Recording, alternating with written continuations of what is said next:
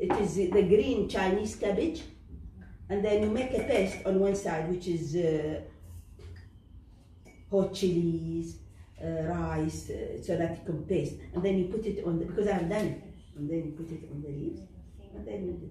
Okay. It's all on the YouTube if you want to read. The main thing in the microorganism is the diversity. The more your uh, tummy is diverse, the organism, the better. Now, in my house, I'm applying it now. I have yogurt with the bacteria which is called Lactobacillus reuteri. This, it will help the body to produce collagen and to reduce the wrinkles in the face. And it helps to secrete the hormone which is called oxytocin, this bacteria. And I brought you some of the tablets just to show you because one.